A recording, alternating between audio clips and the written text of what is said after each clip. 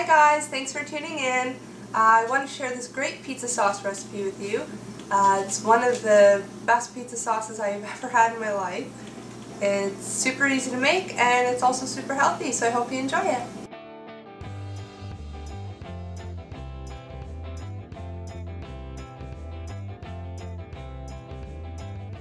To make this sauce, you will need one half of a medium-sized onion, six garlic cloves, one 28 ounce can of crushed tomatoes. From my experience, Eden organic tomatoes have yielded the best sauce. Uh, you'll need one quarter cup of honey, one teaspoon of basil leaves, and two teaspoons of oregano leaves. Start by finely chopping the garlic. I don't use a garlic press because I like the texture that the little bits of garlic give the sauce.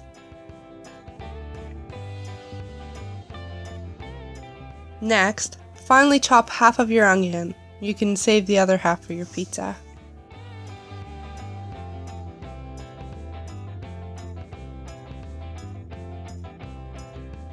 On medium heat, add butter and simmer the garlic and onions for about 5 minutes or until it starts to caramelize.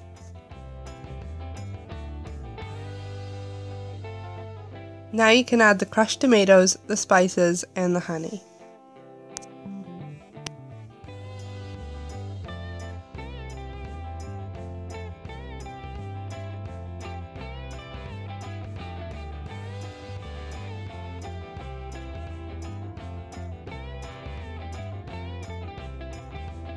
Continue to simmer for at least 15 minutes.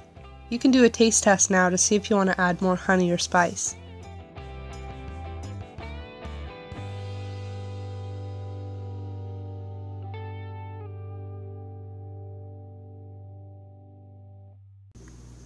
Thanks for watching! If you'd like to try a healthy grain-free crust to go with your sauce, please click the link below.